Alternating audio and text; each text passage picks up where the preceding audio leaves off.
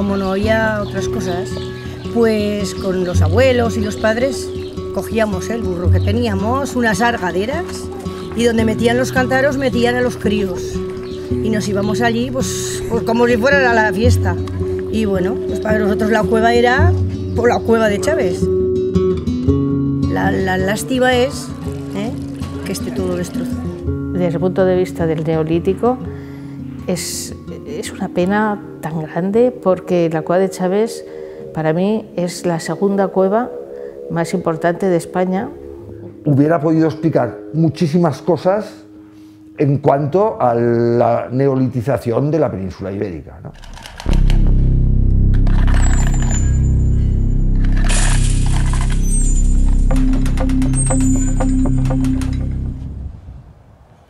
Yo es que no sé qué han pretendido. No tengo ni idea. Sé, quién, pero no sé por qué. Jo us dic una cosa, eh, no salteix la valla. Eh?